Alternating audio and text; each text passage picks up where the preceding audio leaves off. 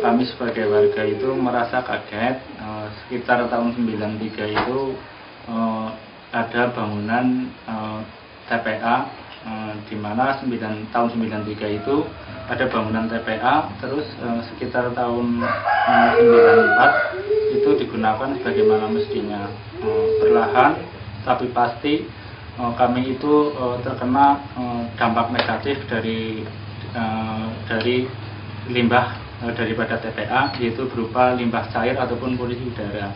itu ayah anak saya sendiri sudah berobat ke rumah sakit ke 6 dua hari kemudian. Sampai sekarang belum sembuh. Penyakitnya itu panas. Penyakitnya panas kalau itu malam jam 1 sampai jam 3 hari. Karena saniki pun wonten niki TPA nggih sarane hinemen sih kados niki penyakit itu berobatakan teng pundi mawon malah kados niki dados kepripun sih.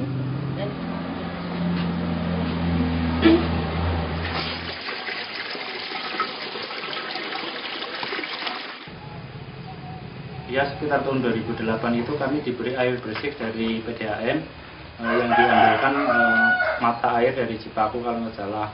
Nah, sejak itu pula eh, kami itu minta digratiskan, minta digratiskan eh, air bersih itu dibebaskan dari rekening PDAM sebagai bentuk eh, kompensasi eh, aliran limbah dari TPA itu kan eh, masuk ke wilayah atau ke masyarakat eh, sekitar eh, untuk Dukuh Banjaran itu 3 RT, kalau tu- untuk Dukuh Tambangan itu sekitar 4 RT.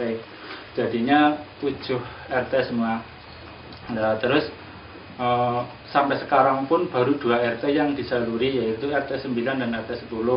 Itu kami meminta pemerintah agar eh, menggratiskan akan tetapi sampai sekarang itu eh, belum ada putusan, belum ada jawaban, belum ada kepastian intinya.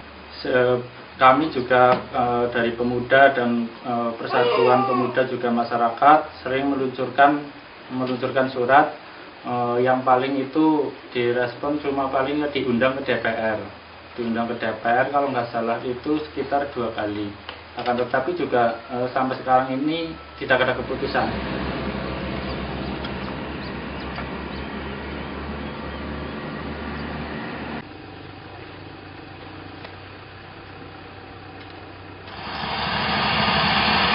Maka dari itu sebetulnya masyarakat RT 5 dan RW RT 10 merasa kecewa sekali. Mintanya TPA itu ditutup.